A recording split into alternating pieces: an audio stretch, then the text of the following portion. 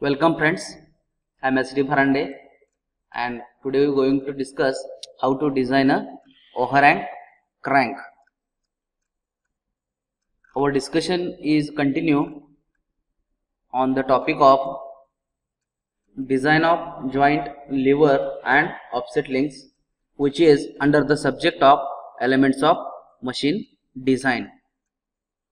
आज आपण बघणार आहे मित्रांनो design of overhang crank overhang crank जो आहे तो कशा पद्धतीनं डिझाईन करायचा आहे what is its design procedure and how to design a actual component actual crank म्हणजे त्याच्यावरचा एक प्रॉब्लेम आपण आज बघणार आहे. Overhang crank this is the figure one shows the overhang crank. In that the load w is acted on this component on this bar and this is offset from this axis and this distance is a L2 and this overhang portion from the bearing or bracket this is the L1 sir overhang crank is also called as side crank it is used for medium and large size engine म्हणजे engine मध्ये जो crankshaft असतोय connecting rod असतो त्या connecting रॉडच्या ठिकाणी आपण हा ओव्हरहँग crank use करत असते त्याला याला साईड क्रँक असं सुद्धा म्हटलं जाते कारण याचा जो क्रँक आहे हा क्रँक एका एंडला बेअरिंगमध्ये फिक्स असणार आहे आणि एक पोर्शन ओव्हरहँग असणार आहे. त्याला म्हणून याला म्हणतो असते ओव्हरहँग किंवा side crank what are the advantages of overhang crank connecting rod can be made solid By using the overhang crank, we can make a solid connecting rod. Crankshaft rotates on two heavy bearings. Only two bearings are required to rotate the crankshaft by using the overhang crank. Dynamically balance crankshaft rotates freely. Dynamically balance crankshaft जर असेल तर तो freely आपण rotate करू शकतोय rotate होतोय overhang क्रँकमध्ये then what is the design procedure of overhang crank? First maximum bending moment is considered which occur at point A हा जो ए पॉइंट आहे या ठिकाणी मॅक्झिमम बेंडिंग मुवमेंट असणार आहे. लक्षात आलं? कारण हा पिवोट पॉइंट आहे. याच्या पुढची ही जी लेंथ आहे इथं लोड डब्ल्यू ऍक्ट झालाय. म्हणजेच इथं काय असणार आहे? मॅक्झिमम बेंडिंग पॉइंट ए ला असणार आहे. What is the bending moment M M is equals to load W into length L one बरोबर? This is the maximum bending moment M into L one then maximum twisting moment at A bending बरोबरच twisting सुद्धा असणार आहे. कारण या axis भोवती हे L two जे डिस्टन्स आहे एल टू डिस्टन्स हा जो आहे या फोर्समुळे ट्विस्ट तयार करणार आहे. बरोबर? हा असा. ट्विस्टिंग मुवमेंट किती असणार आहे पॉइंट ए पासून? Twisting moment T is equals to W into L two this is the twisting moment hence shaft is subjected to both bending and twisting moment bending and twisting दोन्ही मुवमेंटला shaft असणार आहे. Bending moment first consider bending moment sigma B is equals to M upon Z M is the bending moment Z is the section modulus section modulus for this component is the Z is equals to pi by thirty two into d cube हा झाला त्याचा section modulus and torsional shear stress tau is equals to 16 t t is the twisting moment divided by pi d cube find out from this equation twisting moment t is equals to pi by 16 into d cube into tau this is the twisting moment tau is the shear stress according to maximum shear stress theory we know that the maximum shear stress theory tau max is equals to 1 half into bracket 1 half into under root sigma b square plus 4 tau square. This is the maximum shear stress theory. From this, we can calculate the D, small d. How can we calculate the d? Put the values of sigma b and tau in this equation. This tau and in last here sigma b. Okay.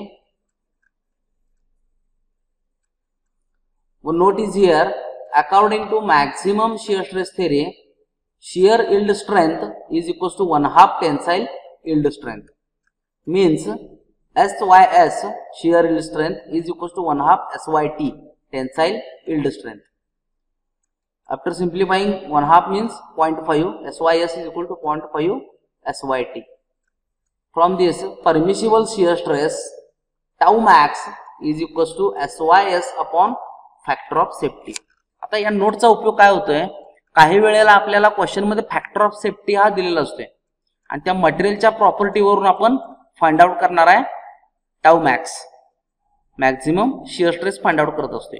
तर त्यासाठी या रिलेशनचा आपल्याला उपयोग होतोय. S Y S divide factor of safety let's see one problem to design a overhang crank question. The shaft of an overhang crank subjected to a force W. This is the force W. Of one kilo newton W किती दिला आहे one kilo newton convert it into one into ten raise to three newton as shown in figure figure is also part of a question the shaft is made of plain carbon steel forty five C eight material specification दिलेलं आहे लक्षात आलं त्या मटेरियलच्या specification वरून आपल्याला याचा tensile yield strength माहिती आहे आपल्याला फोर्टी फाईव्ह सी एटचा किती आहे three eighty newton per M M square इथे दिलेला आहे ऑलरेडी हा दिलेला आहे दिलेला नसेल तर आपल्याला या मटेरियल वरून हा कॅल्क्युलेट करावा लागतोय. The factor of safety is two factor of safety is given determine the diameter of the shaft small D calculate करायचं आपल्याला using the maximum shear stress theory of failure maximum shear stress theory म्हणजे tau max आपल्याला वापरून त्याचा diameter calculate करायचा आहे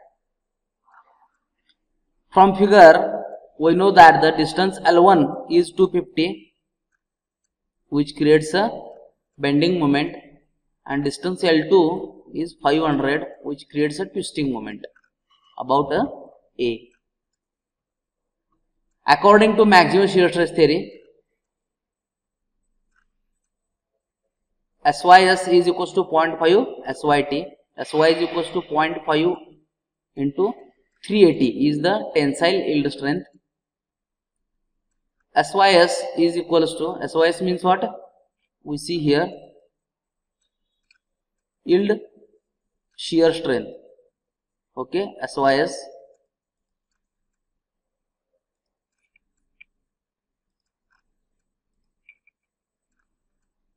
yield shear yield strength is 190 newton per mm square comes here permissible shear stress means tau max is equal to yield shear strength divide by factor of safety which is given two in question one ninety divide by two means ninety five newton per M M square is the tau max next the stresses are critical at point A which is subjected to combine bending and twisting moment जसे design process मध्ये आपण बैठक त्याप्रमाणे twisting आणि bending movement दोन्ही असणार आहेत. पहिल्यांदा bending moment M is equals to W into L one W हा लोड आहे किंवा फोर्स आहे आणि एल वन हा रिस्पॉन्सिबल आहे bending मुवमेंटसाठी distance force into distance W one thousand newton into L one is two fifty M M two fifty into ten raise to three newton M M and twisting moment force distance force force w and distance is responsible for twisting moment is l2 w into l2 1000 into 500 is equals to 500 into 10 raised to 3 newton mm so bending stress sigma b is equals to m by z m is the 250 into 10 raised to 3 z is pi by 32 d cube from this we can get sigma b is equals to 2.55 into 10 raised to 6 upon d cube. Then sigma b comes in the form of d. And torsional shear stress tau is equals to, we know that the formula 16t, t is the twisting moment upon pi d cube. We know that the twisting moment T comes here 500 into 10 raised to 3 Newton mm divided by pi d cube. This torsional shear stress tau also come in the form of d cube. Next, according to maximum shear stress theory, tau max is equals to 1 half square root of sigma b square into 4 t square. Put the values and simplify this. Tau max is 95. Sigma b, put the value of sigma b in the form of d and tau in the form of d also. From this, we can get d. In this equation, only d is unknown and d is comes 34.27 mm. Say this is the 35 mm. Okay. In some cases, it comes 32 mm also.